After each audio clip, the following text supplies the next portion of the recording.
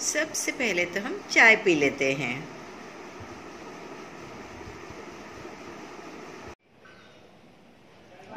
अभी बजे हैं सुबह के आठ, लेकिन आसमान देखिए, कितना सुंदर लग रहा है।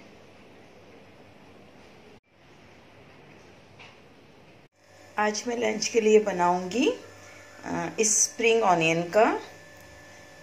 चने के आटा डाल के बेसन पर मैं अभी इसको सिर्फ़ रेडी कर लूँगी प्रिपरेशन कर लूँगी। और फिर लंच के टाइम पे दोपहर को उसको गरम गरम पार्लर पे जाके बनाऊँगी। जैसे आप जानते ही हो कि पार्लर पे मेरा छोटा सा किचन भी है अंदर और उसमें गैस भी रखा है मैंने तो। ये सब्ज़ी ना गरम गरम ही अच्छी लगती है। तो इसलिए मैं इसका सारा प्रिपरेशन कर लूँगी।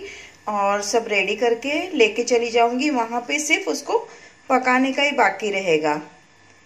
तो गैस चलिए फटाफट बना लेते हैं लंच मैं बनाऊँगी सब्ज़ी में कांदा बेसन। ऑनियन को इस तरह से हमें काटना है। तो ऑनियन को इस तरह से अच्छे से धो लेंगे हम और कढ़ाई में तेल रखेंगे। कढ़ाई में ये मैंने तेल रखा है और तेल में हम डालेंगे जीरा। और इस ऑनियन को थोड़ा सा सौते करेंगे सारे मसाले डाल के। जैसे ही जीरा क्रैकल होता है, हम ऑनियन को उसमें डाल देंगे। अब इसमें डालेंगे हम कड़ी पत्ता और हरी मिर्ची।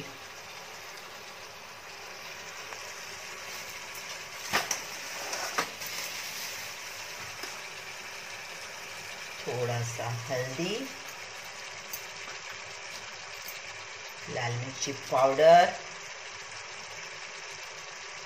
जीरा पाउडर और थोड़ा सा गरम मसाला।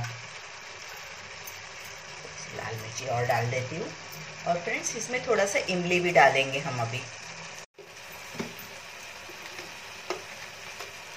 मैं थोड़ा नमक डाल रही इसमें। आप नमक अपने अंदाज से डाल सकते हैं, क्योंकि चने का आटा भी पड़ेगा इसमें। तो इस तरह से नमक डाल दिया। और थोड़ा सा इमली डाल देती हूँ। ये देखिए, थोड़ा सा इमली। तो खट्टा खट्टा बेसन, बहुत अच्छा लगेगा। मैंने थोड़ा सा इमली डाल दिया है इसमें। अभी थोड़ा सा पक जाए तो हम गैस बंद करके इसको खाली कर लेंगे एक डब्बे में, और उसी कढ़ाई में हम चने का आटा भी सेक लेंगे। तो इस तरह से थोड़ा सा सौते होते ही अब हम इसको खाली कर लेंगे टिफ़िन बॉक्स में और इसमें थोड़ा सा हरा धनिया डालेंगे। तो मेरा ये, ये सब्ज़ी बनके रेडी है सिर्फ़ इसे अब मुझे इसको खाली करके इसको टिफ़िन में भरना है और इसी कढ़ाई में मुझे बेसन को थोड़ा सा सेक लेना है। तो बस गाइस इस कढ़ाई में अब बेसन सेक लेती हूँ मैं थोड़ा और इसे भी टिफ़िन में ट्रांसफ़र कर लूँगी और फिर पार्लर पे पानी डाल के उसको गरम गरम पका लूँगी। टू मिनट्स में बन जाएगा पार्लर में ये। तो खाना खाते वक्त मैं और मम्मी अच्छे से गर्मा गरम कांदा बेसन खा सकेंगे। बेसन सीखने का स्मेल ना गाइस इतना मस्त आता है ना, पूछो मत, ऐसे लग रहा है लड्डू के लिए हम जब चने का आटा भूजते हैं ना, उसी तरह से। बहुत अच्छा आ रहा है। फ्रेंड्स ये ना गरम गरम ही बहुत अच्छा लगता है। इसीलिए मैं इस तरह से रेडी करके लेके जा रही हूँ, क्योंकि रात को आके बनाने को कुछ टाइम नहीं रहता है। तो बस मेरा और मम्मी का दिल कर रहा था कि आज कांदा बेसन खाए। इसलिए मैं ये स्प्रिंग ऑनियन वाला बेसन बना रही हूँ। बस भूज चुका है बेसन। अब मैं इसको ट्रांसफ़र कर लेती हूँ अपने टिफ़िन बॉक्स में। तो ये सब एक साथ मैंने ट्रांसफ़र कर लिया है टिफ़िन में लंच बॉक्स में और अब पार्लर पे जाके मैं इसमें सिर्फ़ पानी डालूँगी और पका लूँगी। टू मिनट्स में बन जाएगा ये गाइस रेडी हो गया है। उसका बेस सब रेडी हो गया है। अब आगे थोड़ा सा टू थ्री मिनट्स का काम बाकी है जो मैं पार्लर पे जाके करूँगी।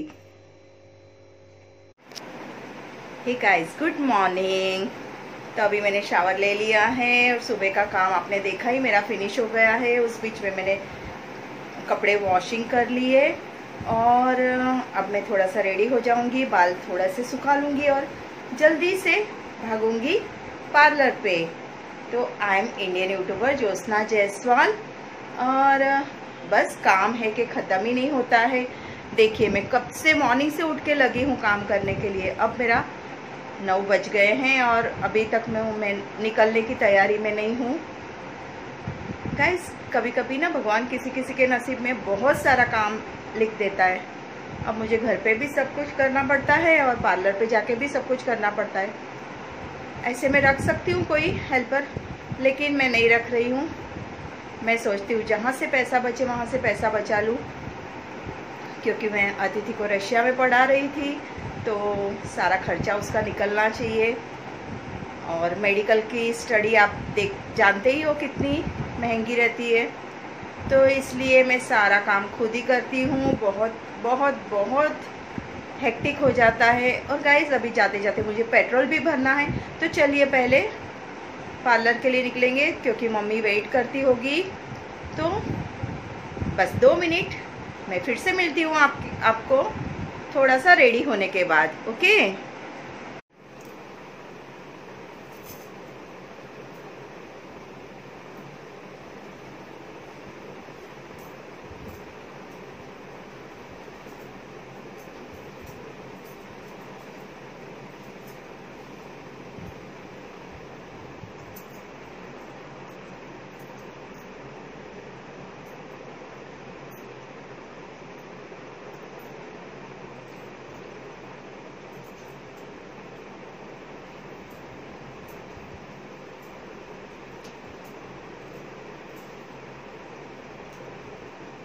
गाइस बालों की जट्टा मैंने निकाल ली है।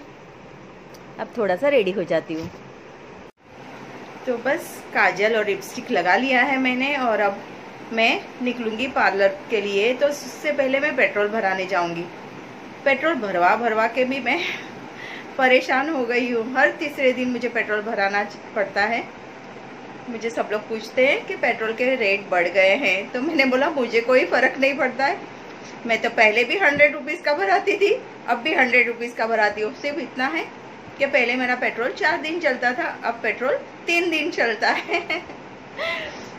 तो इस तरह से गाइस अब मैं निकल रही हूँ और सुबह की भागम भाग तो कोई कम होती नहीं है। शायद आप सभी की भी ऐसी भागम भाग होती होगी। कभी कभी क्लाइंट को पूछती हूँ, आप कितने बजे उठते हो? कोई बोलता है, चार बजे कोई बोलता है, पाँच बजे मुझसे नहीं उठा जाता है। मैं रात को भी बहुत लेट हो गई थी कल। तो मॉर्निंग में सिक्स थर्टी को जय मुझे उठाते हैं, पर मेरे से उठा ही नहीं जाता है। सात तो बज ही जाते हैं उठते उठते, और फिर फिर थोड़ा सा मोबाइल यूट्यूब लेके बैठ जाती हूँ। देखती हूँ कितने सब्सक्राइबर हुए, क्या कोई मैसेज है, कुछ है। तो उसमें मेरा टाइम चला जाता है, और फिर लगती हूँ मैं काम पे। तो हर रोज़ सोचती हूँ कि प्रेस वाले जो आते हैं भैया जी उन उनके आने से पहले मेरा सारा काम हो जाए पर वो आ, मैं मैं एक भी दिन तीन महीने से चार महीने से यही सोच रही हूँ कि वो पौने आठ बजे तक आते हैं तो पौने आठ बजे तक मेरा काम हो जाना चाहिए जल्दी से पूरा निपटारा क्योंकि मुझे प्रेस वाले भैया जी का वेट करना पड़ता है वो कपड़े प्रेस के लिए लेके जाते हैं उसके बाद ही मैं मेरा आगे का काम कर सकती हूँ। तो इसलिए मुझे तो गाइज़ इस इस तरह से मेरा मॉर्निंग रूटीन स्टार्ट हो जाता है और काम है कि ख़त्म ही नहीं होता है। अब मैं भागती हूँ पार्लर पे, नहीं तो बातें करती रहूँगी आपसे तो लेट हो जाएगा। और मम्मी भी वेट करती रहेगी ना वहाँ पे। तो और मम्मी आती है ना तो मुझे बहुत अच्छा लगता है। एक दिन मम्मी नहीं आई थी अभी बीच में मैं इतनी परेशान हो गई थी मतलब टाइम कैसे निकालू? क्लाइंट तो आते रहते हैं, लेकिन क्लाइंट की बात और हो जाती है। क्लाइंट अपना काम करवाते हैं और चले जाते हैं पार्लर पे से। पर मम्मी रहती है तो थोड़ा सा मुझे अच्छा पड़ता है। मम्मी के साथ बातें करती रहती हूँ और फिर थोड़ा, मम्मी का काम भी थोड़ा रहता है ना तो चाय बनाना, ये वो। तो मम्मी के साथ साथ मेरा भी थोड़ा टाइम पास हो जाता है और और इस बीच में दो तीन दिन ना मेरी वो फ्रेंड भी नहीं आ रही थी। तो बस वो आती है तो थोड़ी देर पार्लर पे आती है तो थोड़ा सा रौनक बन जाती है। अच्छा लगता है। तो वैसे ही मेरी लाइफ चल रही है गाइस क्या करें? ऐसे ही जीना है, बस। तो फ्रेंड्स चलिए पार्लर पे मिलते हैं।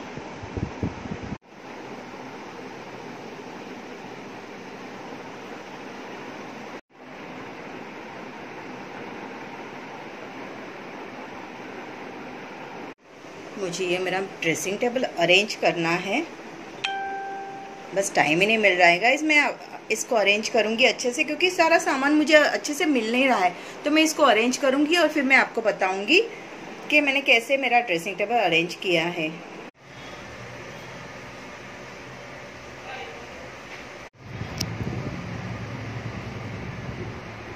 तो गाइस भागम भागी करके मैं पहुँच गई हूँ पार्लर पे। और क्या हुआ सिग्नल पे? आज अभी तक मुझे ना सिग्नल समझ में नहीं आता है, सच बोलूँ तो। मैं फटाफट सब लोग जाते हैं ना, उनके पीछे में निकल पड़ती हूँ। तो मुझे बहुत जल्दी था पेट्रोल भराना था, तीन दिन से कंटिन्यू पेट्रोल नहीं भरा पा रही थी। तो मैं निकली फटाफट। और लास्ट में थी मैं, और वो लाइन पूरी जा रही थी और दूसरी लाइन स्टार्ट होने वाली थी। और अचानक एकदम से गाड़ी ऐसे एकदम आ गई, मैं लास्ट में थी और मैंने इतनी फास्ट गाड़ी मारी और अचानक वो तो अच्छा हुआ ब्रेक मारा। बाद में आगे जाके सोचा मैंने, बापरे, अपनी लाइफ बहुत कीमती है इस तरह से। इतनी घाई नहीं करने की, घाई करते ही रह जाएँगे पूरा। फिर बाद में आते वक्त तो पेट्रोल भरा के आते वक्त साइड में खड़ी हो गई एकदम से और आराम से सबके पीछे पीछे निकली। तो फ्रेंड्स आप लोग भी इस तरह से मत कीजिए, आज मुझे एकदम से बहुत बहुत बहुत घबरा गई थी मैं कि अचानक ये क्या हो गया। मेरा दिमाग में सिर्फ़ यही चल रहा था, लेट हो गया है और मैं पेट्रोल भराने जल्दी से पहुँच जाऊँ। तो मैं सारी गाड़ियाँ जैसे जा रही थी, उनके पीछे पीछे मैं भी निकल पड़ी। पर एक्चुअल में सिग्नल बंद हो गया था और मुझे रुक जाना चाहिए था। पर मैं, मैंने सोचा मैं भी निकल जाऊँगी इनके साथ। तो इस तरह से गाइस आप भी अपना पूरी तरह ध्यान रखिए, क्योंकि अपना लाइफ बहुत कीमती है। तो अब मैं पार्लर पे आ गई हूँ, कल का पार्लर पे बहुत सारा मेस पड़ा है तो वो सब मैं करूँगी। तीन दिन से पेट्रोल नहीं भरवा पा रही थी, सुबह भराऊँगी, रात को भराऊँगी तो एट लास्ट मैंने पेट्रोल भरवा लिया है। और अब मैं पार्लर का पूरा सब अरेंजमेंट कर देती हूँ। तो चलिए गाइस मिलते हैं फिर थोड़ी देर में। बघू तुझे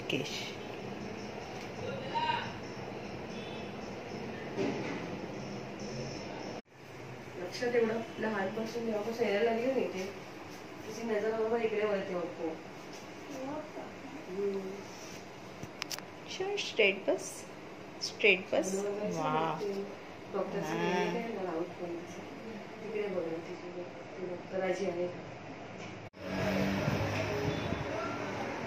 तो गैस अभी काम निपटारा हुआ है मेरा।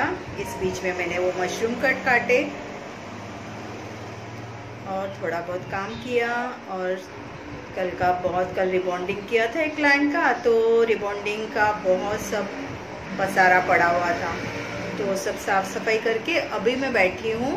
अब बजे हैं साढ़े बारह दोपहर के और अब मैं बनाऊँगी वो कांदा बेसन। बना के तो लाई हूँ, सिर्फ़ उसको गरम कढ़ाई में थोड़ा सा पानी डाल के उसको पका लेने का है और फिर हम लोग करेंगे लंच, मैं और मम्मी।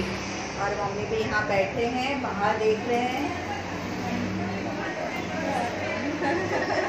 मम्मी ने पहले ही बाय कर दिया।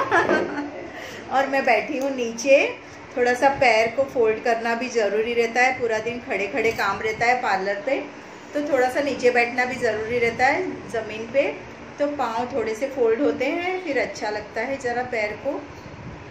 क्योंकि आजकल तो हम लोग पूरी तरह टेबल पे ही सब कुछ खड़े खड़े सोफे पे बैठ जाते हैं और बस पहले के ज़माने के लोग तो नीचे बिस्तर लगा के नीचे सोते थे, अब हम लोग तो बेड पे सो जाते हैं। और बस खाना भी डाइनिंग टेबल पे खाते हैं तो नीचे बैठने का तो सवाल ही नहीं आता है। तो मैं थोड़ी देर ना दोपहर के टाइम पे रोज़ इस तरह से मेरे स्टूडेंट आते हैं ना तो ये विजिटिंग रूम में मैं बैठ जाती हूँ नीचे तो आज तो स्टूडेंट आने वाले नहीं हैं, पर फिर भी थोड़ा सा थक गई हूँ तो नीचे बैठी हूँ। और फ्रेंड्स बस चल रहा है ऐसे ही। तो अब हम लोग लंच करेंगे, और मैंने बाल अपने सुखा रही हूँ, खोल दिए हैं। आज हेयर वॉश किए थे तो थोड़े से बाल सूख जाए तो फिर उसको मैं टाई कर लूँगी। तो गाइस ये है मेरा पार्लर पे छोटा सा किचन मैंने कढ़ाई रख दिया है और अब मैं वो कांदा बेसन पानी डाल के दो मिनट में पका लूँगी और हम लोग फिर खाना खा लेंगे। थोड़ी देर के लिए इसको मैं अब ढक देती हूँ तो ये पक्के रेडी हो जाएगा।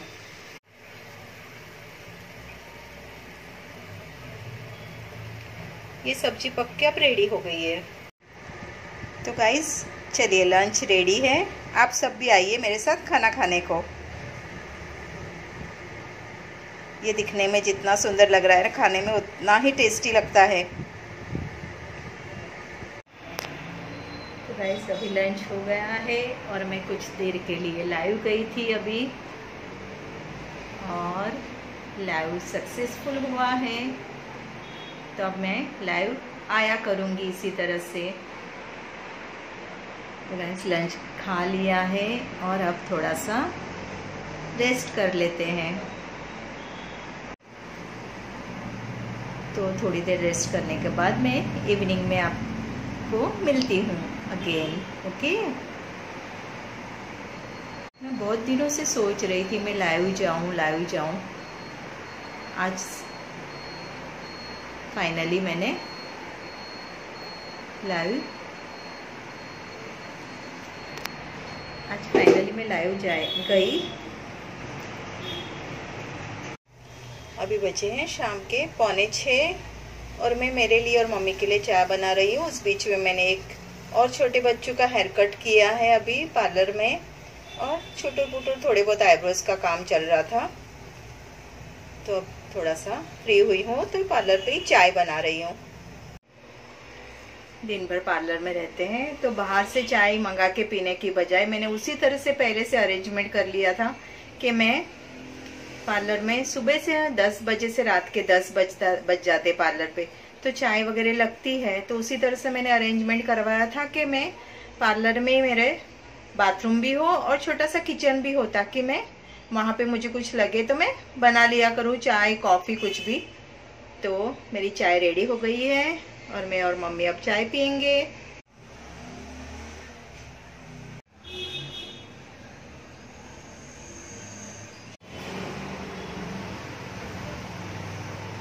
चलिए चाय का मज़ा लेते हैं।